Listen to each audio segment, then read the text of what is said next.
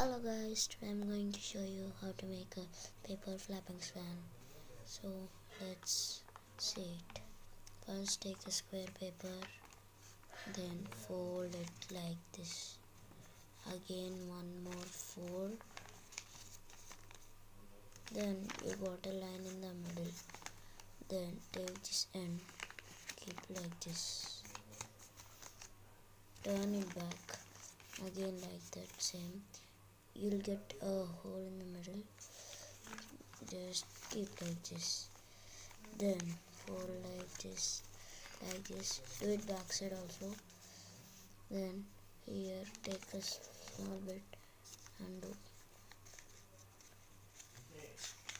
After that take in the middle. This line is there now. Keep it here. Mm do the same for back side also.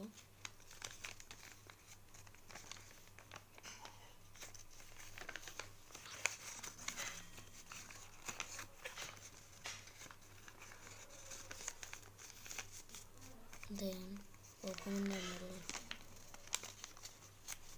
keep like this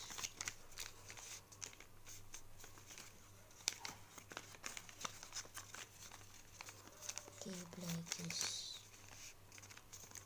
now next see down pull it till the end now flap the wings slowly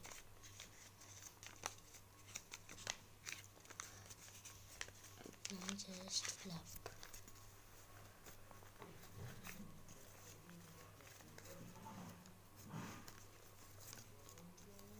You should flap nicely, then only the bird will work.